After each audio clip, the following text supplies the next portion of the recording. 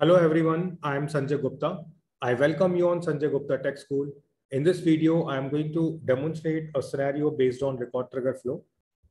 Let's understand the requirement of record trigger flow. So in this video, you will understand custom notification in flow. So in record trigger flow, if you want to send a custom notification, so how we can do that? So the requirement says whenever a case is escalated, then we need to send a custom notification to a public group. So we can send custom notification to a individual user as well as we can send that custom notification to a public group. So custom notification basically appears in this bell icon, right? And uh, here it is mentioned like whenever case is escalated. So you might be thinking, what do you mean by escalated? So if I jump to case object, and if I open any case record, so there you will see one field named as status.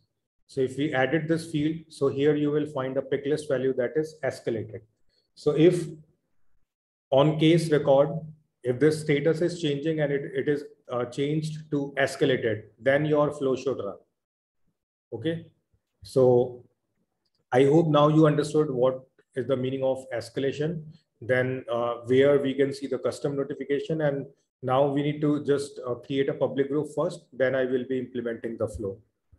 So public group basically uh, we create so that we can make more than one users member of a group.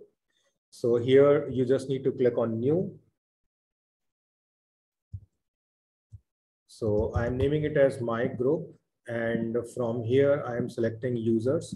So in my org, I have two Salesforce license users. So I'm just adding those and clicking on save.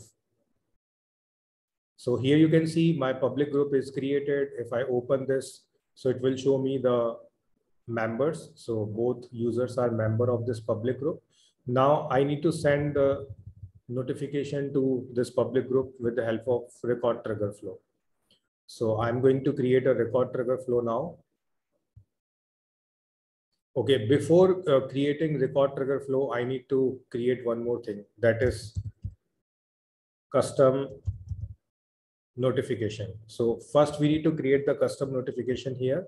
Then you can use that, that custom notification inside the record trigger flow. So here one demo notification is already available, right? Uh, so we can use this, but if you want to create new one, so you just need to provide the name and API name and uh, supported channels, right? So I'm going to use this one. So I'm copying this API name so that I can use this in the record trigger flow.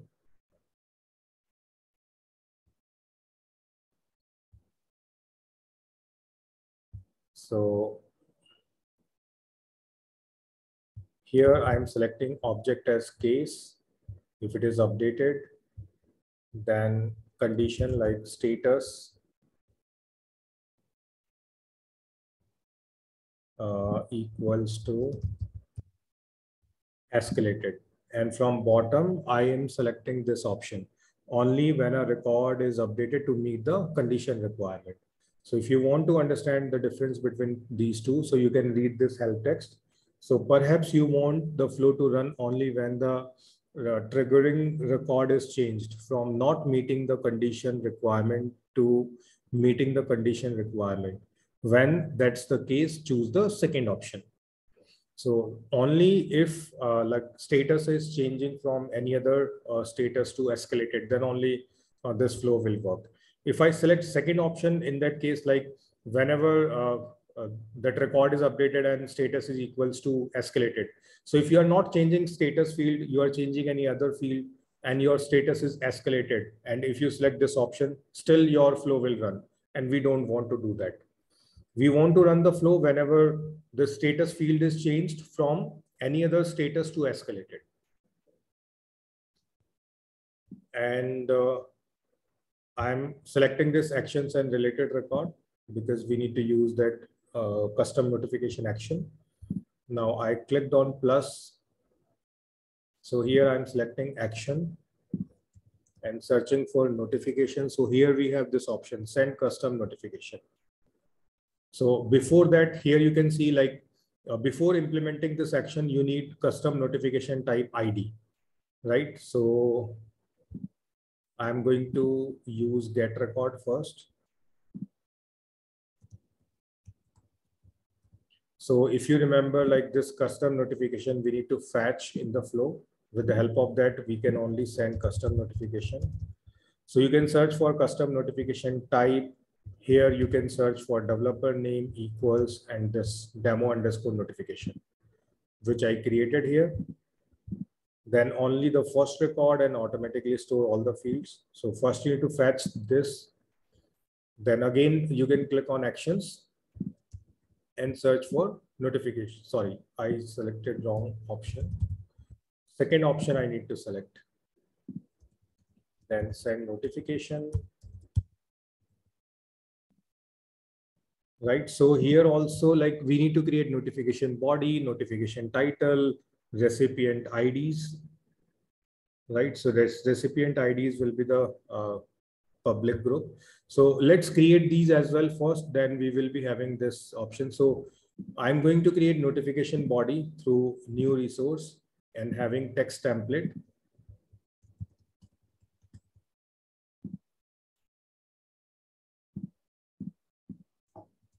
So here I'm writing notification body and clicking on done.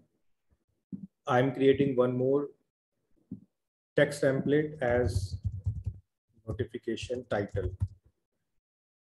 So I'm selecting view as plain text and notification title, right? Now, if I select this action again, so three things we have now, custom notification ID we have, we have notification body, we have title. Now we need to populate recipient IDs, right? So here we need to provide the public group ID. So I need to query that as well. So I'm selecting get record. So get group. So public groups are available under this group object. So you need to select group and here you can search it. So I'm just having public group name. So let me search public group. So we have both the things name or developer name. So here we have public group name. So it is a developer name. So I'm just copying this. Developer name equals this my group.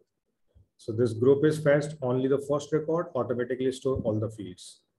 And now I can finally have that action.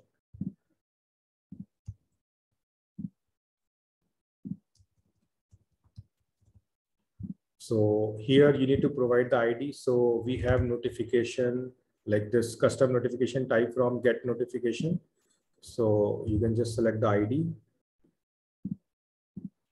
Then here you can have notification body. Here you have notification title. And here we have this group dot. Okay, we just need to provide the group.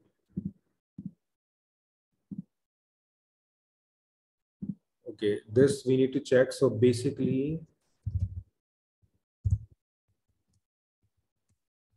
I'm just taking help from Salesforce article. So we have this help.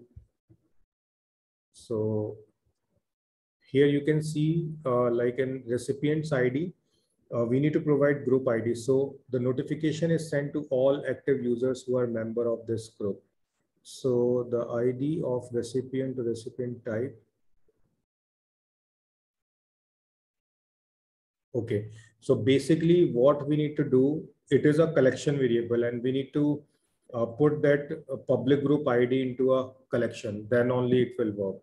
So I'm just canceling it.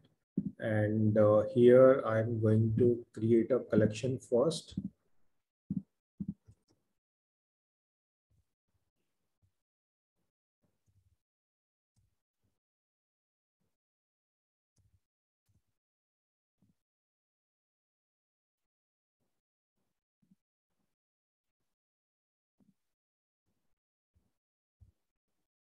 So recipient IDs, text, allow multiple values and done.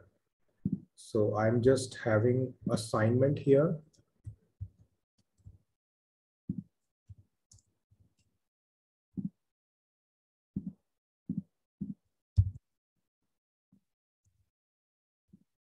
So that public group that we fetched through get record, that's ID will be added into this. And let's say if you want to add some individual user as well, so you can add that user ID into this recipient ID. So what you can do, you can select this recipient ID, then add, and here you can have that uh, particular ID. Okay, but right now we have this public group, so I'm adding it. Now again clicking on this action and selecting send custom notification action. Now everything will be available. So let's have this first. Then we have title. Then we have body. Then we have notification type dot ID. Right? And then click on done. So this way our flow is created now I'm just clicking on save. So send custom notification, clicking on save and activating it. Now, if I go to the UI and let's say I'm just sending the status of this case and I'm clicking on save. Okay, so there is some error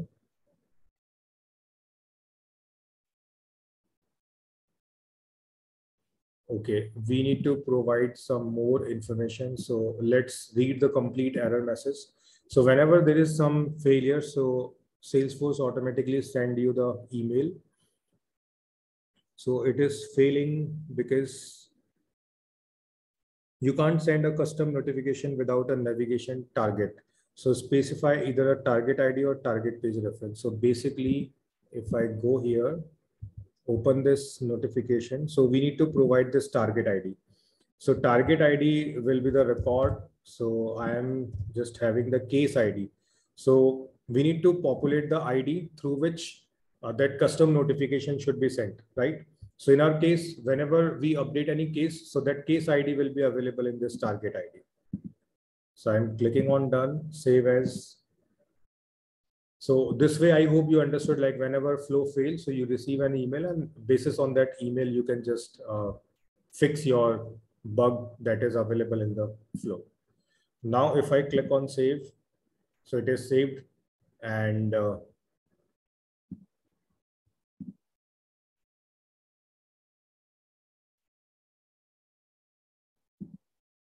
so here you can see we have a notification here a few seconds ago right? So notification title, notification body. So this we created as a dummy. If you want to have some other data, so that will be available here. So right now I'm logged in as this user, Sanjay Gupta. So in this user's notification bell, that notification is available.